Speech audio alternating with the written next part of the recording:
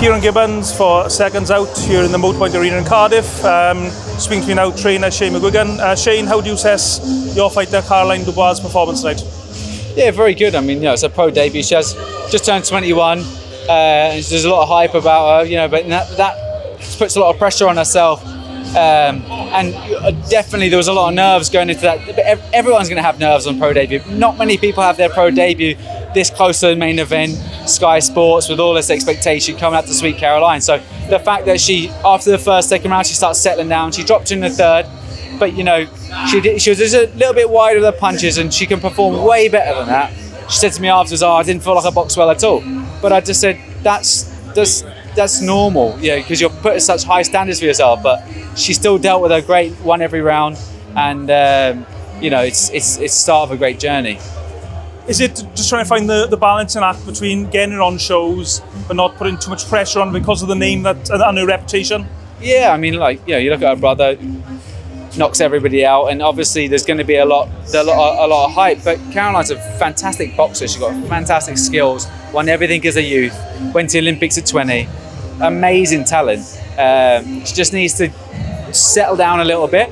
But it's just this is the this is the way female boxing is. It, it's all everyone wants to fight for world titles in three, four fights. It's like calm down, take your time, ease into it. You know, it's it's more the it's not it's not the opposition.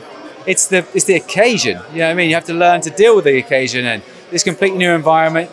Small gloves on, horsehair gloves, uh, no vest, no head guard. So all of these things, they're, they're all different variables that can play a massive factor. But she boxed great. You know, I think she boxed great. She just lunged in a little bit too much and it's just on to the next one. But you know, I'm looking after her managerially as well, so just gonna we're gonna match her right, take her time, get her really active, get her used to these occasions.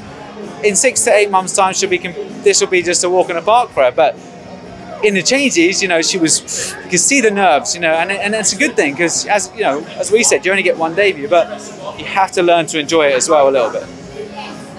Is there an issue in women's boxing where you've got like obviously like um, pro debuts for ex-Olympians like this, and then there's a bit of a gap between the, there's no real British level, if you like, and then it goes almost straight to world level. Yeah, it's just it's it's either you know like you know like going in there against opponents that are there to, to get beaten, or you're going in there with stiff competition. You know, someone that's going to try and win. That's either a world champion or there or thereabouts. So. Um, there is a massive gap, so that's why we have to have you know five, six of these bouts get used to it, and then we'll sort of push on. Also, we're going to try and find her find her weight division as well because you know she boxed at 60 kilos, but she was 20. So whether we go to lightweight or, or light welter or you know, super lightweight, as it called in, in now, um, you know, we'll, we'll we'll see. But the body's still growing. We'll let her develop. You know, we'll we'll, uh, we'll take it as it you know take it fight by fight. Um, but you know, it's. Uh, it's, it's, it's, you know, she's got bundles of talent. And uh, how do you keep her feet on the ground? Because no doubt she'd probably, given the choice, would jump in for a world title fight tomorrow if she could. Yeah, exactly. But that's that's because she can, you know, she's sparring Hannah Rankin. You know, her last three or four spars were with Hannah Rankin. So um, that's uh, yeah, who's a, who's a world champion at light middleweight. So when you're mixing it in the gym and you've got Ellie Scotney in the gym as well, who's going to be fighting for a title next next Saturday. So there's a uh, you're, you're, you're sparring with people that are fighting for titles. It's, it's easy to think I'm there already, but she, you know, ability-wise, she is already there. It's, it's more experience-wise. You know, it takes time to build experience, and uh, and that's the beauty of the fact that she's so young. She can just she can take it, you know, take it slow. Yep. Go ahead. Uh, the heavyweight situation at the moment: Joshua, Fury, Usyk, and um, Dillian Whyte. what's your take on the whole thing? Um, not not a lot really. I mean, I think it's you know I, I was surprised that it went to purse bids and uh, Fury decided to to to, um, to opt for the Whyte fight. Um, but at the same time, you know, I, I, I, I think it's a very it's a very marquee fight. Him versus Dillian Whyte's a fantastic, fantastic fight. Strange that Dillian Whyte has gone a bit quiet, but um, that's a fight I'd really be excited as a fan to watch. Uh, Whyte versus Fury. And uh, what does Dillian Whyte have to do? He's widely regarded as the underdog going into the fight. I mean, what was he going to do to try and beat Tyson Fury? Push him back and try and, you know, listen, he's not going to outbox him, is he? He's going to have to try and stick it on him. I don't think he's got, capable of doing so. I do think he's capable of giving him a hard fight, though. And that's why it makes it exciting. And it's a heavyweight division, it only takes one shot. from from each of them, obviously, um, not just uh, from from Tyson Fury.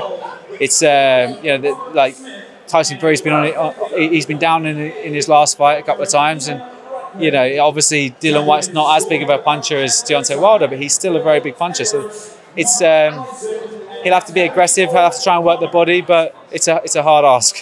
And uh, what does Anthony Joshua have to do to get the win in the rematch with Usyk, providing it happens, obviously? needs to be a little bit more aggressive. He can't be too reckless and just rush in. You know, he's got to be a little bit more aggressive. He has to work the body. Uh, me watching it, I, the, the shot I would be looking for is just firing that right hook into the body, trying to step round him and firing it in, and, and just dictating the centre. You know, being aggressive, but also either dropping back and then sometimes meeting him. Um, but that you know, for, for, for AJ, he needs to really go and assess his setup, which he's I know he's doing it already. But once again, it's a big ask to go into a rematch that you've just lost. Uh, you know, same same opponent with the new team. It, it takes time to build confidence in your team and your confidence back in yourself. So, I know he's a you know he's a he's a very determined guy, um, and he's a you know he is a winner. So he's got that in him. Um, and if he chooses to fight that rematch, yeah, he's still you know he's still got a fantastic chance. I, I believe he I, gets the right the right tactics. He should win the fight. Do you think Usyk's got another few gears to go through as well? I mean, we, we all talk about what Joshua's going to do differently this time. Um, presumably, Usyk's going to know the tactics Joshua is going to use or is likely to use.